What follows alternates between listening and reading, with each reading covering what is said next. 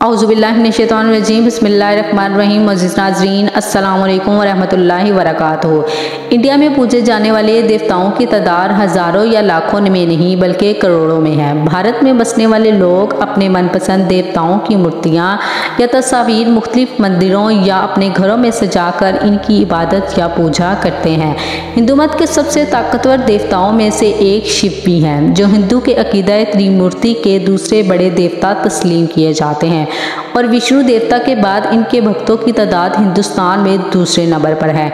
त्रिमूर्ति अकीदा क्या है, ये हम अपनी गुज्तर वीडियोस में बयान कर चुके हैं। तीन एक अजीब बात यह है कि जहाँ हिंदू मत के दीगर देवताओं की इबादत के लिए इनकी मूर्तियों या तस्वीर का सहारा लिया जाता है, वहीं शिव के मानने वाले इसकी पूजा के लिए इसकी मूर्ति या तस्वीर इस्तेमाल नहीं करते, बल्कि ये लोग शिव के शिवलिंग के या शिव के अजू तनासुल की पूजा करते हैं। इस पर दूध और शहद के चढ़ावे चढ़ाते हैं और इसी से अपनी मुरादें तलब करते हैं। आखिर ऐसी क्या खास बात है शिव के लिंग में जो शिव के मानने वाले इसकी इबादत करते हैं? और ये शिवलिंग के शिव के जिसम से अलग कैसे हुआ, ये सब बातें हम अपनी आज की वीडियो में जानेंगे।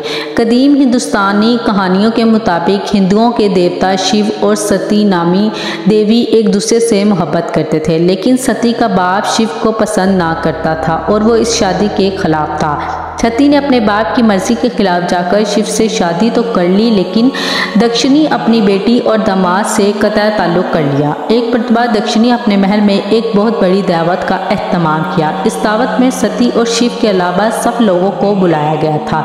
सती अपने घर वालों की मोहब्बत से मजबूर होकर शिव की बात ना मानते हुए अकेली ही इस दावत में चली गई। जहाँ इसके बाप दक्षिण ने इसकी और इसके शोहर की शदीद बेजती की।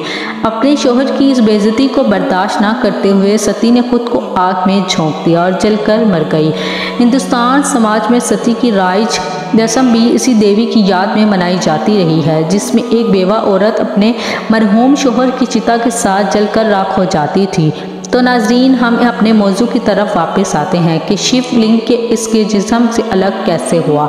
अपनी महबूब बीवी और जुदाई के गम में हिंदुओं के देवता शिव दुनियादारी और समाज से बेजार होकर दर दर भटकने लगे। इनकी दीवानगी इस हद तक बढ़ चुकी थी कि इन्होंने लबास तक पहना, तर्क कर दिया था। इसी हालत के दौरान शिव दारोक नामी एक जंगल में पहुँचे। इस जंगल में सन्यासियों और फकीरों की एक जमात रहा करती थी, जो इस वक्त एक मुकदस यात्रा पर गई हुई थी। इन सन्यासियों की बेगमात ने जब शिव को इस हालत में देखा तो वो उन्हें भीख देने के लिए इनके पास आई। और ये सब की सब हिंदुओं के देवता शिव से ऐसी मुतासर हुई कि शिव जहाँ जहाँ भी जाते, ये भी इनके साथ जाती। फिर जब सन्यासी फ़कीर अपनी यात्रा से वापस लौटे तो उन्होंने ये अजीब मंजर देखा कि बरहना जिसम शिव आगे आगे और इनकी बीवियाँ शिव की वफादारी में इनके पीछे पीछे चल रही थी। तब इन फ़कीरों ने शिव को खूब बुरा भला कहा और इसके शराब, यानी बदुआ दी, तुम्हें जिस लिंक पर इतना नाज है, वह लिंक कट कर गिर जाए। और सन्यासियों की बदुआ के सबब ऐसा ही हुआ। शिवलिंग हिंदुओं के देवता शिव के जिसम से अलग होकर तमाम कायनात में तबाही मचाने लगा ये जहाँ भी जाता, वहाँ आग लग जाती और सब मिलकर राख हो जाता। अब ये सन्यासी फ़कीर बहुत ज़्यादा परेशान हुए और उन्होंने इस तबाही से बचने के लिए मुख्तलिफ़ देवताओं के पास गए। तब ब्रह्मा ने उन्हें देवी पार्वती के पास जाने की सलाह दी, जो देवी सती का पुनर् यानी कि दूसरा जन्म था। इस सलाह को मानते हुए ये तमाम सन्यासी देवी पार्वती की खिदमत में हाजिर हुए। उन्हें ये तमाम वाक़ बताया तब देवी पार्वती ने शिव के लिंग को ठंडा करने के लिए एक योनि यानी औरत की शर्मगाह का रूप इख्तियार किया और शिवलिंग को इस पर रख दिया गया। इस अमल के ज़रिए शिवलिंग से होने वाली तबाही को रोक दिया गया। इसके बाद तमाम देवताओं ने शिवलिंग की बर्तरी को तस्लीम किया और शिव के लिंग की पूजा की। इसी तरह आज तक हिंदुस्तान में शिवलिंग की पूजा की जाती है। आपने अक्सर मंदिरों में देखा होगा कि शिवलिंग के नीचे कुछ इस तरह का एक गोल प्लेटफॉर्म मौजूद होता है। ये दरअसल योनि है जो कि देवी पार्वती ने शिवलिंग को पुरसकून करने के लिए पेश की थी, जबकि शिव के पैरोकारों के नज़दीक इन दोनों का मिलन है। इस तमाम कायनात के पैदा होने का सबब कहलाता है। हिंदू मेथोलॉजी के मुताबिक आज भी शिवलिंग को तवानाई का जरखेरा करार दिया जाता है। शिव के मुख्तलिफ़ मंदिरों में शिवलिंग को पानी, दूध और शहद से गुसल दिया जाता है ताकि इसे ठंडा और पुरसकून रखा जा सके।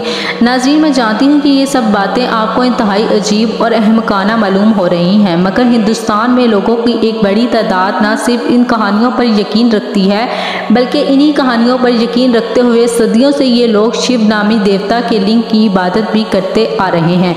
नाजरीन, ये सारी बातें हिंदू मत की अपनी ही किताबों से ली गई हैं, जिनमें हमारा कोई तहरीफ शामिल नहीं है। इसी उम्मीद के साथ कि आपको हमारी वीडियो अच्छी लगी होगी, और अगर आपको हमारी वीडियो अच्छी लगी तो हमारे चैनल को ज़रूर सब्सक्राइब करें, और बेलाइकन के बटन को भी दबा दीजिएगा, ताकि हर नई आने वाली वीडियो आप लोगों तक पहुँच सके। और इस वीडियो को अपने दोस्तों और रिश्तेदारों के साथ भी ज़रूर शेयर करें।